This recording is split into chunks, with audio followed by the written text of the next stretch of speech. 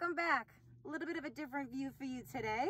I have to drop off some patio furniture down the street, so I am abiding by my mask. I've got some gloves next to me because I'm leaving my house. Ah, and uh, it's going to give us an opportunity, though, for me to give you my spiel on curb appeal.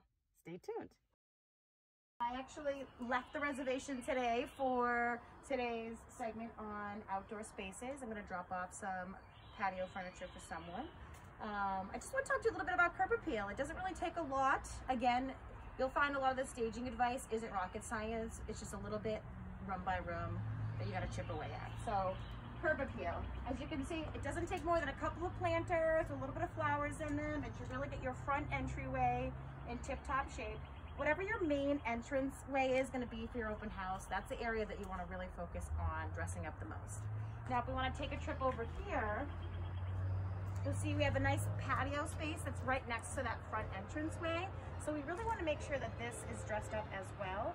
Uh, so we're going to take a minute. And we're going to put a few things out here. Again, this isn't rocket science. A couple of chairs, a little rug, and a little side table, and we'll have exactly what we need.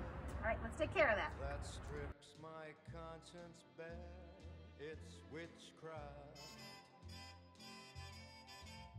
And All right, as you can see, a little bit of effort a way, whether you have these items or not, or you have your stager bring them in for you, it's really important to, again, take care of that curb appeal, patio spaces.